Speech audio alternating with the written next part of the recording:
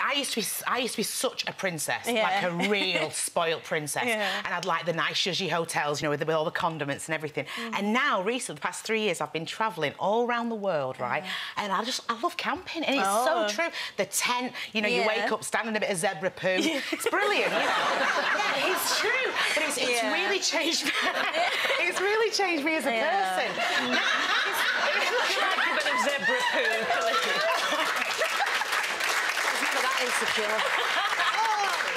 we never had a glamping. no, honestly, I, I proper, proper rough it now. I love it. Yeah, it's brilliant. She's building fires. She's standing in poo. I mean,